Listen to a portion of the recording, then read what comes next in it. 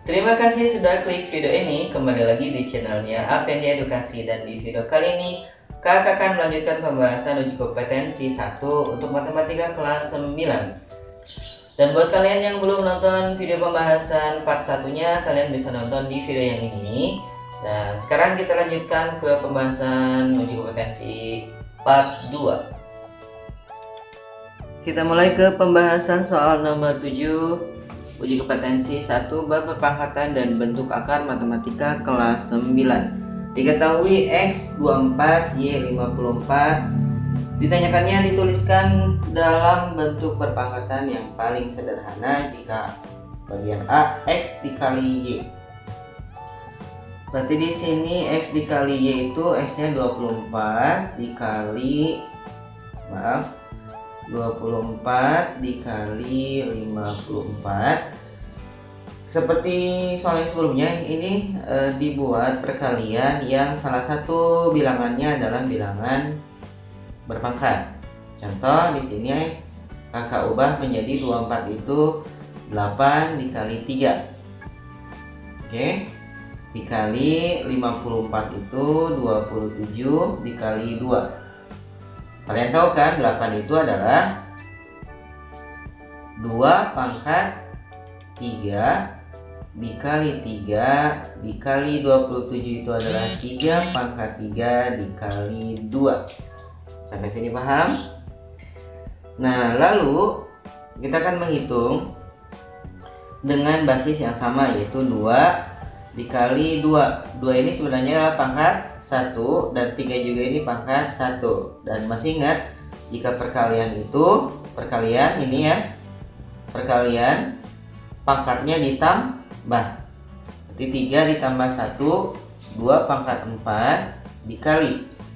3 ini 1 ditambah 3 4 juga 3 pangkat 4 ini itu jawaban bagian A. Lalu ke bagian B X per Y yaitu 24 per 54 sama kita buat 8 dikali 3 8 dikali 3 per 27 dikali 2 lalu kita sederhanakan. 8 nya dibagi 2 ini sisa 4 27 dibagi 3 ini 9 yaitu menjadi 4 per 9 lalu kita buat pangkat menjadi 4 itu adalah 2 pangkat 2 dan i 9 itu 3 pangkat 2 sama dengan 2 pangkat 2 dikali karena ini penjemur pangkatnya menjadi min 2 pangkat 2 dikali 3 pangkat min 2 untuk jawaban bagian B kita lanjutkan ke soal nomor 8. Berapa hasil operasi perpangkatan 492 pangkat 5 dikurangi 246 pangkat 5? Caranya yang pertama adalah ini dibuat menjadi 2 dikali 246 pangkat 5.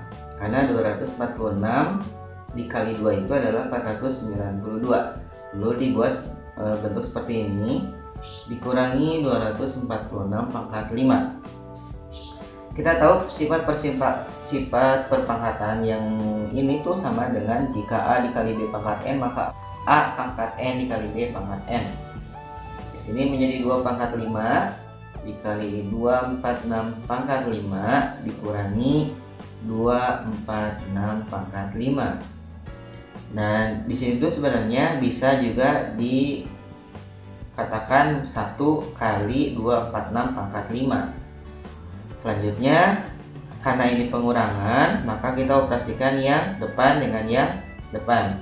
2 pangkat 5 itu adalah 32 dikurangi 1 dikali ini sama 246 pangkat 5 hasilnya adalah 31 dikali 246 pangkat 5 Jawaban untuk nomor 8. Kita lanjutkan ke pembahasan nomor 9. Berapa banyak detik dalam kurun waktu 60.000 tahun? Tuliskan hasilnya dalam notasi ilmiah. Jadi 60.000 tahun itu berapa detik? Itu maksudnya nanti dituliskan dalam notasi ilmiah. 60.000 tahun. Ini dikali satu tahun itu diambil 365 hari. Dikali satu harinya adalah 24 jam. Satu jam itu berapa detik? 3600 detik. Ini dirubah ke detik. Lalu kita kalikan nih angka depannya. 6 dikali 365 dikali 24 dikali 36 kalian juga nanti dicoba dihitung.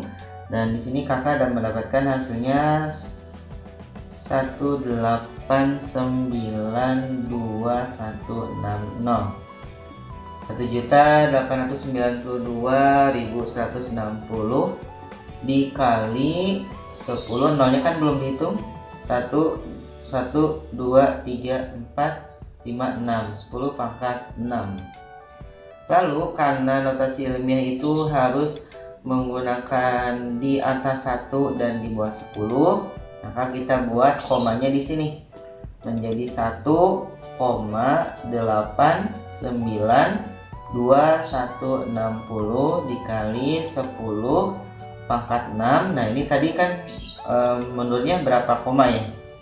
Berarti 1 2 3 4 5 6 maka ditambahkan 6 angka maka di sini hasilnya adalah 1,892 160 dikali 10 pangkat 12 Sebelum dilanjutkan subscribe dulu ya. Kita lanjutkan ke pembahasan nomor 10. Tuliskan hasil operasi perpangkatan berikut. Yang bagian A, min 8 dikali 2 pangkat 6. Min 8 dikali 2 pangkat 6 itu adalah 64. Maka hasilnya negatif dikali positif itu negatif 512 bagian B 5 pangkat 4 5 pangkat 2 nya itu 5 kali 5 25 25 kali 25 adalah 625 dikali 50 hasilnya adalah 31 ya. 31.205 untuk ini 16 16 2 pangkat 6 2 pangkat 4 itu juga 16 16 per 16 1 untuk bagian D 98 Nah ini kita buat menjadi 98 itu adalah 49 dikali 2 Sedangkan 7 pangkat 3 itu 7 pangkat 2 dikali 7 pangkat 1 ya 7 pangkat 2 itu adalah ya 49 dikali 7 49 kita coret dan hasilnya adalah 2 per 7 Selanjutnya kita ke nomor 11 diketahui jarak yang ditempuhnya 5 meter Lalu dalam perjalanan itu berkurang 1 per 10 bagian per meter. Lalu diketahui wadahnya berdiameter 10 cm dan tinggi 12 cm. Yang perlu diketahui rumus untuk mencari volume kerucut itu adalah 1 per 3 dikali VR pangkat 2 dikali T. Oh maaf, yang ditanyakannya adalah volume akhir. Setelah tadi tumpah 1 eh, per 10 bagian per meter pertama kita tentukan dulu volume awalnya volume awalnya itu volume dari kerucut atau wadahnya rumusnya 1 per 3 nah di sini keterangannya V nya menggunakan 3,14 atau nanti dipermudah dalam perhitungannya menjadi 314 per 100 jari-jarinya adalah diameter dibagi dua yaitu diameternya 10 dibagi 2 5 cm dan tingginya 12 cm dan hasil 0,9 pangkat 5 itu adalah 0,59049 kalian nanti boleh hitung lagi ya nanti takutnya kakak salah motret dikali 314 dan hasilnya adalah 185,41 ml jawaban nomor 11 Selanjutnya kita ke soal nomor 12 Urutkan bilangan berikut dari yang terbesar ke yang terkecil. Berarti kita akan rubah ke desimal Supaya mudah mengurutkan. Nanti tinggal disejajarkan komanya. Nanti bisa ketahuan ya. Di sini 7 dibuat di sini 0,89 berarti di sini ya. Nolnya di sini satuan di belakang koma. Lalu 5,2 dikali 10 pangkat 3 10 pangkat 3 itu 1000 5,2 itu menjadi 5200 5200 oke satuannya sejajar ini 0,98 dikali 10 pangkat 4 dikali 10.000 ini jadi 9800 oke nolnya sejajar lalu 0, berarti di sini. 0,0045 lalu yang F nya 1000 oke sejajar oleh satuannya di sini kalau udah sejajar ya berarti sejajar di sini. Untuk menghitungnya lebih mudah. Berarti urutan yang terbesar itu ada di yang ini ya. Yang D yang pertama. Yang keduanya yang C.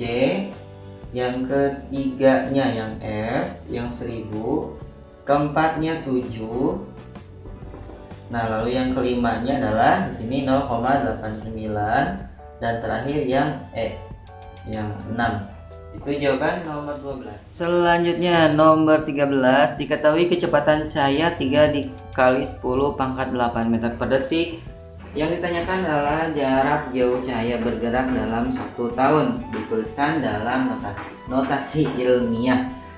Jadi sebelum dikerjakan, kita ketahui bahwa nanti perhitungannya waktunya itu satu tahun dirubah ke detik.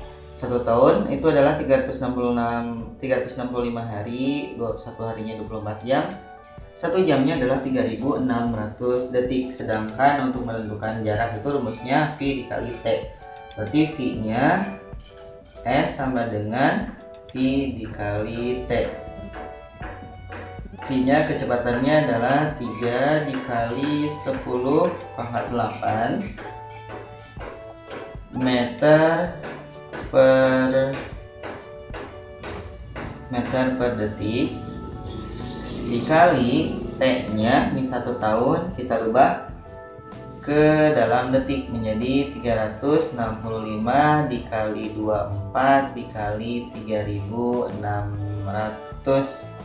detik.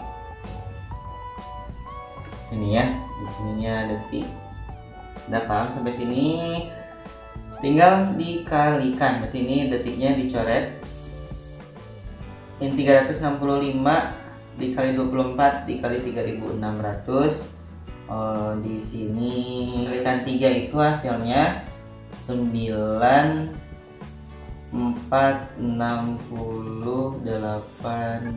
ribu. Nah ini hasilnya nanti kalian menggunakan kalkulator dikali 10 pangkat 8 123 123 oke 94 juta ya. Kali 10 pangkat 8 nah dibuatlah notasi ilmiah. Berarti satu angka di apa e, di atas satu di bawah 10 di sini aja ambil komanya 9,4608